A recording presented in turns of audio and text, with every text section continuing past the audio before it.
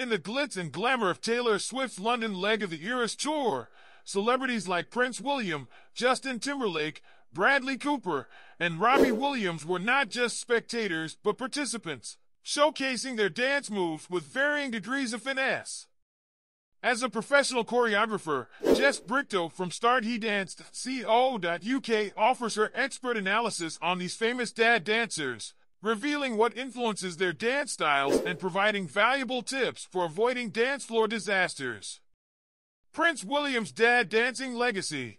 Prince William, amidst recent royal family upheavals, displayed his enthusiasm at Taylor Swift's concert, particularly during Shake It Off.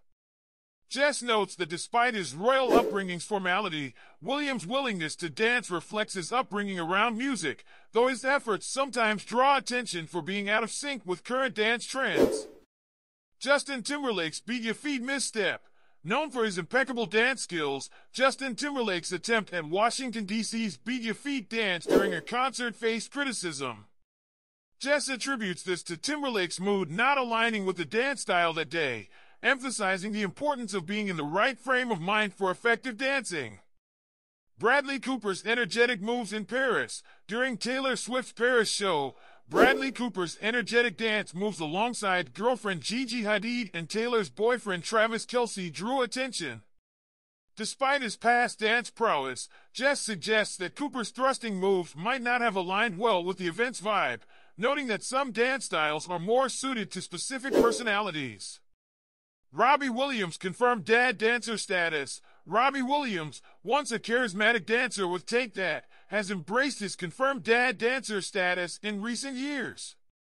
Jess humorously critiques his intentional awkwardness, suggesting that even skilled dancers like Williams can playfully indulge in dad dancing for comedic effect.